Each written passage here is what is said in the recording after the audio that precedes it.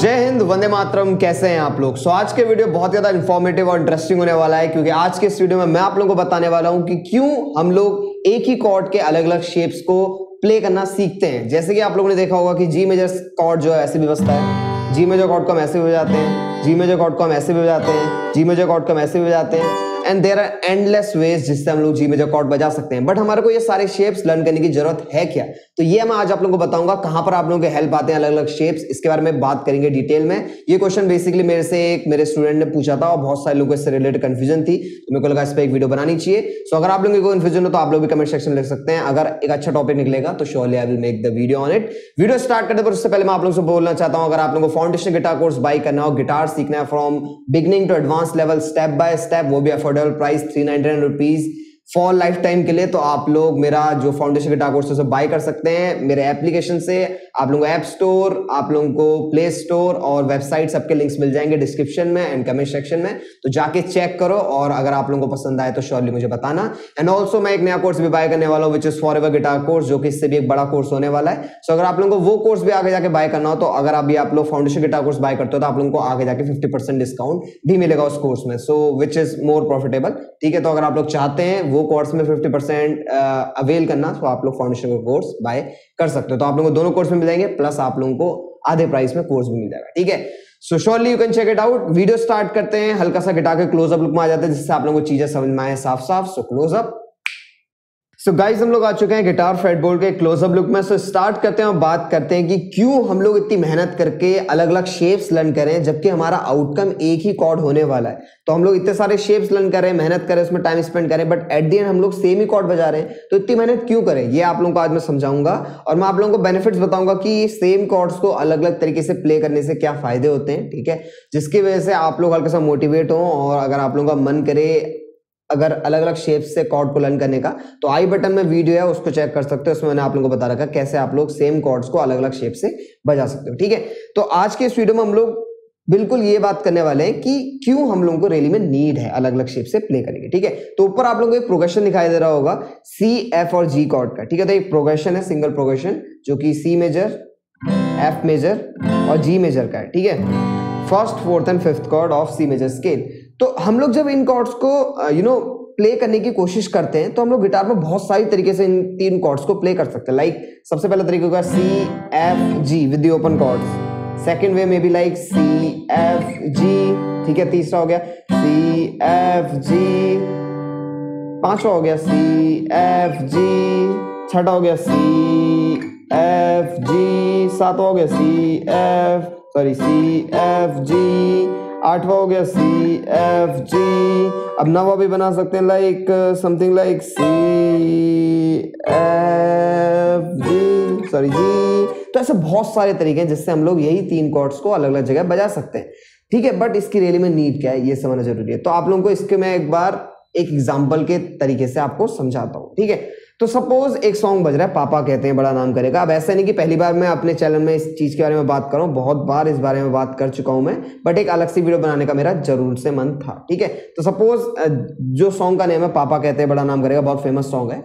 इसका सेकंड जो you know अंतरा आता है, या फिर हम सेकेंड वर्ड्स कह सकते हैं, उसमें आता ना, बैठे हैं बाय द वे जो मैं कॉर्ड्स यूज़ कर रहा हूँ, यहाँ पर लिखे हुए तो आप लोग चेक कर सकते हैं, ठीक है? C major A minor F major and G major तो मैं क्या कर रहा हूँ? बैठे हैं मिलके, सब यार अपने, सबके दिलों में अरमा ये है। वो ज़िंदगी में कब क्या बनेगा?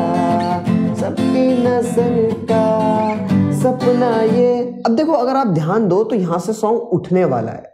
एक ऑक्टेव हाई होने वाला है सपना ये है कोई इंजीनियर का तो बहुत हम हाई जा चुके हैं ला ला ला ला ला ला ला जबकि सॉन्ग स्टार्ट होता ला ला ला ला ला ला दा दा दा दा बैठे हैं मिलके सब यार अपने सबके दिलों में अरमा ये है तो बहुत ही ज़्यादा एक नॉर्मल स्केल में था।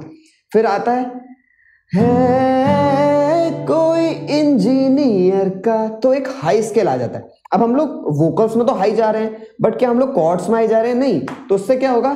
कोई इंजीनियर का काम करेगा।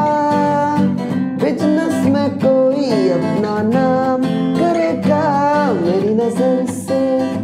तो बिल्कुल भी हमारा जो वॉइस था ना, उसके साथ एक तो कॉर्ड्स मैच नहीं करते इसके वजह से अजीब लग रहा था। उस, उसके साथ में अच्छा गा भी नहीं रहा था, वो अलग एक चीज़ है।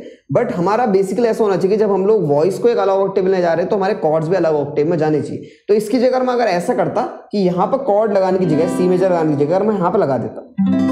तो एक अलग फ्लेवर आता और यहाँ पर एफ़ और जी लगाने की जगह अगर मैं इसे नेक्स्ट ऑक्टेव में लगा देता, होता ये कि जो आप लोगों के कॉर्ड्स होते हैं, वो एक यहाँ पर बज रहा है, दूसरा यहाँ पर बज रहा है, तीसरा यहाँ पर बज रहा है तो वो अलग अलग साउंड करते हैं। ठीक है? तो जैसे यहाँ पर एक एफ़ बज रहा है, यहाँ पर एक एफ़ बज रहा है, और यहाँ पर एक एफ़ बज रहा है तो तीनों में एक ऑक्टेव जैसा फ़र्क आ रहा है। ठीक है? मतलब तो तीनों की साउंड हल्का हल्का करके पिच हाई होते जा रही है। तो जितना आप लोग सॉन्ग में पिच हाई करते हैं, उतना आप लोगों के कॉर्ड में भी पिच हाई होना चाहिए। तो जैसे हमने प्ले करा था, बैठे हैं मिलके, सब यार अपने, सबके दिलों में अरमाई है, वो ज़िंदगी में अब क्या बनेगा? सबकी नज़र का सपना ये है, कोई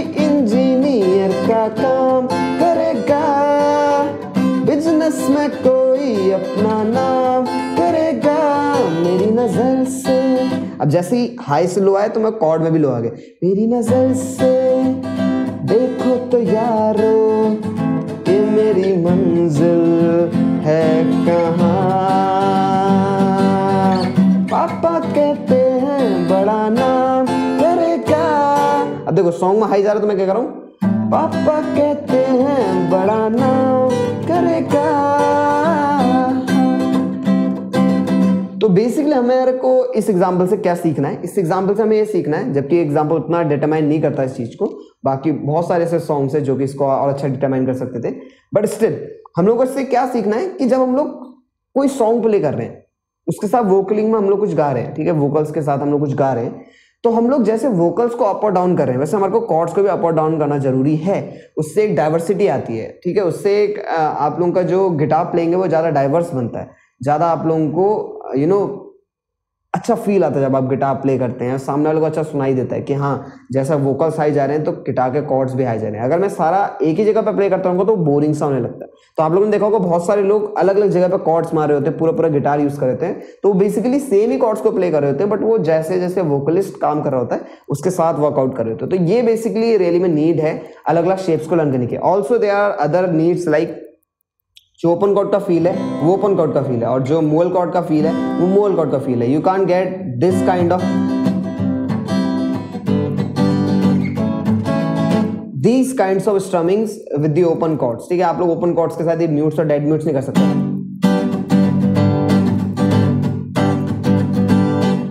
और जो ओपन की ओपन वाली ट्यून है, वो आप लोग